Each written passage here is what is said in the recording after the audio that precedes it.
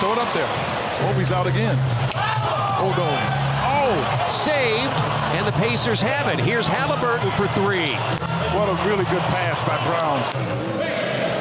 Oh, they, they got to got to advance the ball, and I mean, you got to move it forward. Ooh, a deep three. He was by on, Haliburton. He was on the K of Kaseya. Haliburton at the line, 92% on the year. He's eighth in the league. He is top 15 in four categories. It tells you the start he's had. 14 takes a break as Bennedict Mathurin is in for the first time, and also in Aaron Nesmith.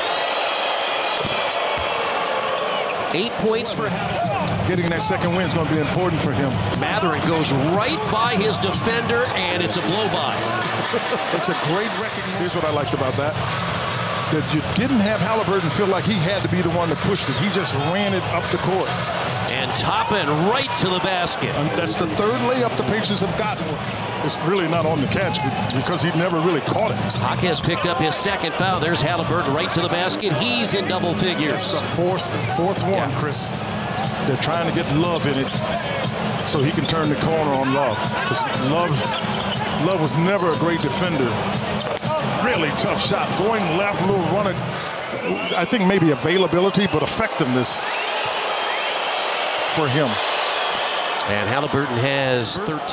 And Miami advancing all the way out of the play-in. And here's the alley-oop.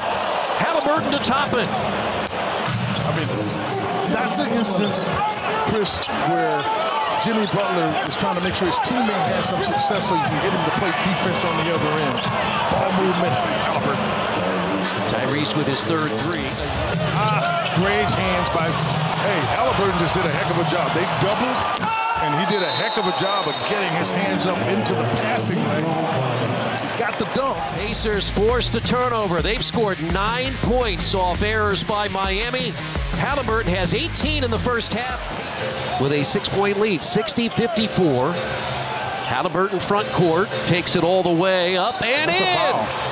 Yeah, I think that Highsmith got him. You'll see right here, just see, Marquez didn't know what he was wanted to do, and it's too late. What I like about it is Haliburton at the rim because that's not what Obi does. So what Miami's decided to do, Chris, is just continue to drive. You, buddy, for Haliburton. Wow. Tyrese comes down and is able. Highsmith can't get there time. Now, mind you, Highsmith's got to be six six. Final 90 seconds plus of this first half, a half that the Pacers have never trailed. Here's a step back three. Haliburton Oh, again. shoot it again on him. Tie, tie. Tyrese comes down and is able. Highsmith can't get there time. Now, mind you, Highsmith's got to be six, six, seven himself. 26 first half points, 9 of 13 from the field, 5 of 8 from 3. And now a message from Mr. Quick. Okay. Toppin is out there. But if you look at Miami, they've got all guards on the floor. Different kinds of coverages in the second half on him. Yeah, especially in this building with their coaching staff and, and the players they have over there. They, they got a lot of tricks up their sleeves, so we got to be prepared, ready for that first hit coming out of halftime and try to sustain it, not turn the ball over and, and play our game. There's a turnover. This is what Haliburton and his teammates, and particularly Toppin, that's his best attribute. Late in the first half. Haliburton had a 28-point first half, most he's ever had in the first 24 minutes of a game, and now he's got 30 and a foul. Terrific read here by Haliburton, seeing that there really is no help, and he's able to put that up. Oh, they, they let that go. Good. Yeah, I thought it might be goaltending. I did too. They felt that was still going up. Toppin for three. That is a huge possession. So those are the kind of things that Coach Erik Spoelstra has, he has to deal with. I am telling you, in the cookie jar with the foul. I don't, I, you know, our, our audio crew is excellent, but I don't know if we want to pick up that much of the whistle. To start the fourth quarter, Haliburton stays out there. He's out there with Hield, Brown, Turner, and it go. Mathurin. Buddy for three. Worked out perfect. They, and that play with, with uh, Roquez was because Mathurin lost him. Haliburton gets inside. teardrop. And he got it. Yeah, just get a teardrop. You can, ooh, they, ooh, somebody got it. They got him out of, out of where he needed to be, but he still wasn't able to make a shot. Haliburton hits.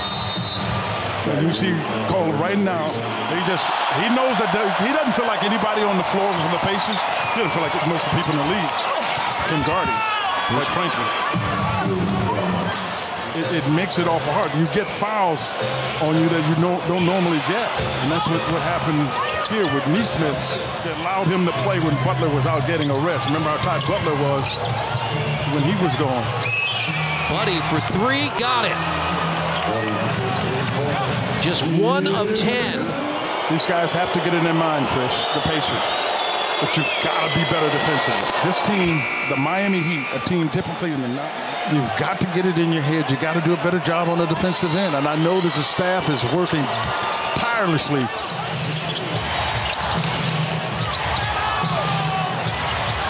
Martin nearly stolen, taken by Hield. Haliburton has 44. Yeah, Rick had to call one when, when all of a sudden Miami was going on a run. Haliburton gets to the basket, scores, and a foul. He's got 46. Yeah, they put that going. And he does a good job getting through there.